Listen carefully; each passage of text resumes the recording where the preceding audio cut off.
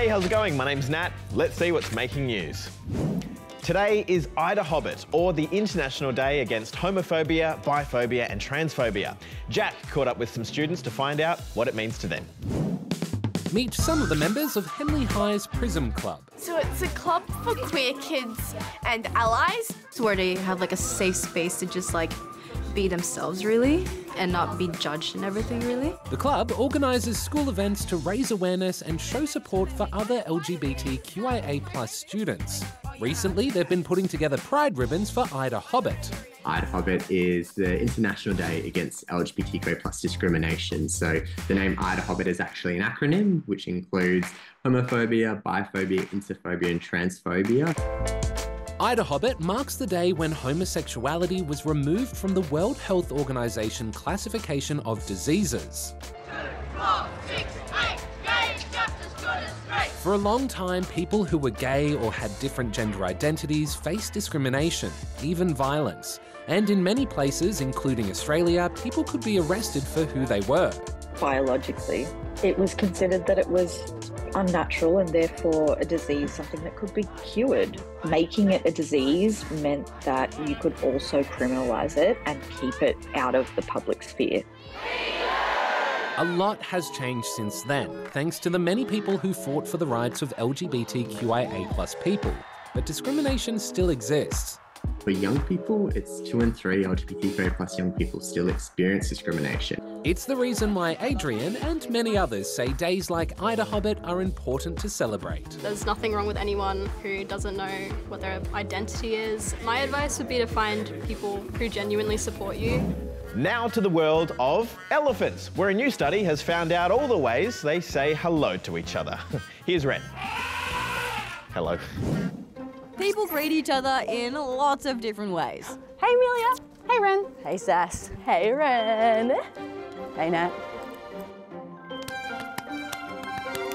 But we're not the only ones. In fact, it turns out our grey, wrinkly friends in the animal world do too. You see, a group of researchers have been studying African elephants in Zimbabwe, and they've documented about 20 different types of elephant greetings when they separated and reunited, elephants uh, used a lot of different movements. They flapped their ears, they spread their ears, they reached with the trunk. And depending on whether the elephants were facing one another, determined what kind of greeting they would use. They do target their gestures at their recipients using visual ones when the recipient is looking at them and uh, audible ones or the ones that involve touch with the recipient when they weren't.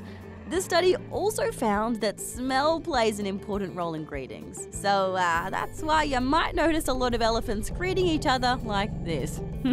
yeah. But despite the smelly hello, experts say it's all really just a sign of affection. When they touch each other, they're extremely cautious and gentle, and they and they just are are so loving to each other. They should be an example for us. Aw, come on, guys, group hug. Every dog has its day. That's a famous saying that basically means, um, well, you know, dogs, right? Yeah, so dogs, they're all going to have a day. That's what that means, right? First up, to Daisy, the Italian water dog, who's been specially trained to sniff out a critically endangered fungus the tea tree finger fungus. And so far, they've only been found in six spots around Victoria.